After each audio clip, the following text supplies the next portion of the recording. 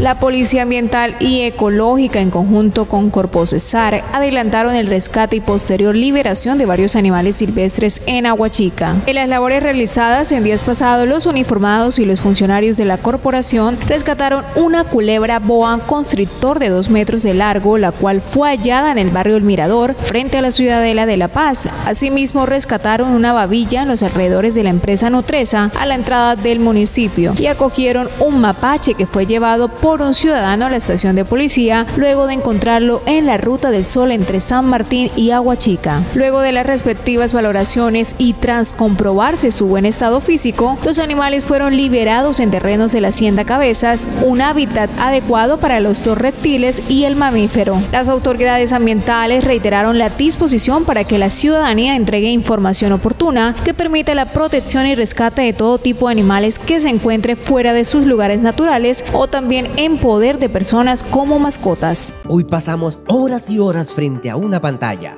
Nos exponemos a radiaciones que podrían afectar nuestra salud visual.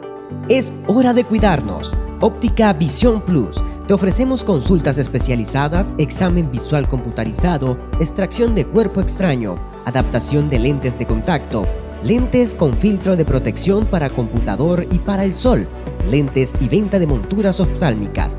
En Aguachica, calle Quintán número 1669, local 3, frente a Purina. Doctora Eliana Martínez, optómetra, óptica Visión Plus. Tu visión cambia con nosotros. Somos Mi TV Noticias. Informamos con independencia y calidad.